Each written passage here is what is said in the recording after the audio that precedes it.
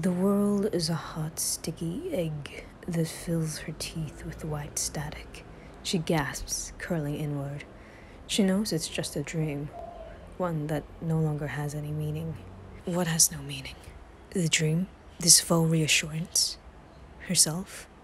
Crunched and strewn with shell flakes, she peels them off her skin. One by one, they titter and flay reluctantly, bit by bit, betraying raw, palliating olive membrane, until the yolk of her tongue reveals itself, and she can no longer shape the words caught in her mouth.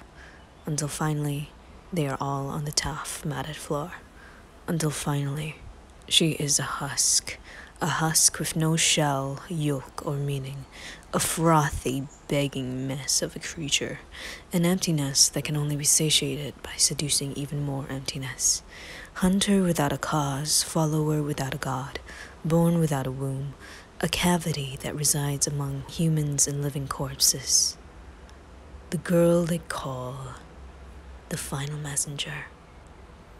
Niryn coughs, hacking up hours old bath water. Her fingers are frantic as they try to grasp onto the slippery edges of the bathtub, red water sloshing. Her knees knock against sides, trying to shape themselves into something smaller. It takes a few minutes, but the thrashing finally stops when she becomes self conscious, sinking into rust stained water. Bubbles burst in front of her nose as she rises up again, half of her face still hidden, jaw pointed to the ceiling, eyes closed, breathing even. The filthy water has worn out its welcome as the skin around her lips feels shriveled and raw, even itchy. She steps out of the bath and dries her long hair with a towel. The nape on her neck feels sticky and unclean. She goes over it with a thin towel again. It feels even rawer. It's somewhere between 4 to 5 a.m. But what does knowing the time matter? Days don't confine themselves to 24 hours anymore. They stretch on for endless eons. The peaks and dips are indistinguishable from one another. Days and nights blend together, forming nightmarish patterns that last for weeks at a time. Forget time. She cannot even tell if she is alive, whether her foot is one door in the waking world or absolute purgatory. The trouble is not them when night comes, but herself. She has to keep herself fed, her restless, neurotic mind satiated with plans for a tomorrow she can't promise, from clawing and tearing her body inside out. It is not safe to linger too long in front of the window. The light has yet to catch up on the rest of the north. Niryn hasn't explored this part of the house yet. It's been abandoned, but only very recently. The owners must have moved when the news about a vampire infestation broke out.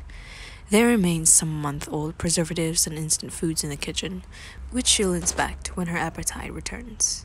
For now, there's yet more of the house to explore. As Niryn dresses into a blue and white raglan and zips a stranger's jeans, she looks into the mirror. All she sees is a tired 17 year old with tousled dark hair and even darker circles under her eyes. The loss of weight doesn't help how prominent they're getting. She should get more sleep if she wants to appear as non threatening as possible. But why even the attempt to check if she's still human? Most modern mirrors aren't backed with silver. Wait, are they? She shuffles around and restarts an old heater in the corner, which she never understood the point of until she moved back to Lancashire. Fruits have been placed on the counter. They are starving her on purpose, Niryn decides. Have they forgotten what humans eat for a meal? She picks one off the bowl and trails off into the next room. It's a bedroom this time, nothing signifying the gender of the child. All soft, neutral hues and muted grays, though by simple process of elimination, it seems to be a boy's room. Just slightly older than a toddler, perhaps? Chewing on scenery that leaves much to be desired and on the under right strawberry, she looks at the drawings closer. There's a pattern with the kids' drawings. Not in the usual way, where children draw houses and a stick figure family and a great big sun in the corner of the page, but something more off. There's always a figure lying down underneath every house they've drawn. Every figure looks the same, but the hair or clothes are colored differently. No one realizes it's a child's way of distinguishing that they're different people, as their scale hasn't caught up to their imagination yet. In this one, there's a woman with straw colored hair lying beside a dog. In another, a big man with a beard. Beside him is a name crossed out by pen instead of a color pencil. And yet another, twin girls with ginger pigtails. And another, a boy and a bicycle. And another, another, and another. Sprawled across the room are drawings of shadowy figures lying in pools of crimson underneath the same house. It's at this point where Niryn realizes two things. One, she is living in a house previously owned by vampires or murderers of the non blood sucking variety.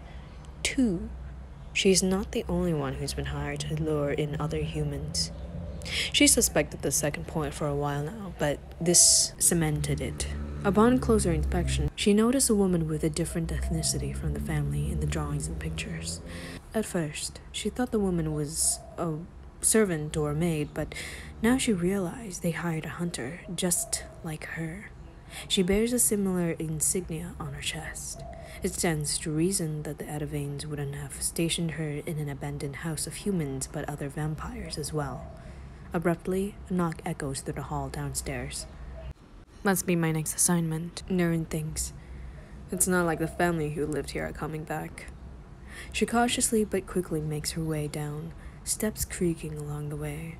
Through the people, she can see it's Kieran, the Edavane chauffeur. He's one of the harder vampires to understand as he unloads her next task in a thick Irish accent. Niryn is to travel further up north where the next town is. Kieran will take her to the edge of town, where she is to scout for the next victim. It seems that each week she has to travel further and further to avoid garnering attention to the area and intruding on the territories of other vampires. She understands the risk, but it tires her to think of the logistics of bringing an extra body on the way back. Still, she accepts the task without question. Thank you, Kieran. Anything else? Nothing you needn't worry about, miss, he gruffly replies. Ah, and I assume this request is by?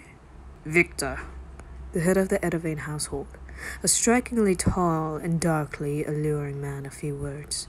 It's odd. The man just had his fill two days ago. It seems that as each day passes, he grows more ravenous. Niryn chooses not to comment on it, however, as she makes her way back upstairs to pack for the task ahead.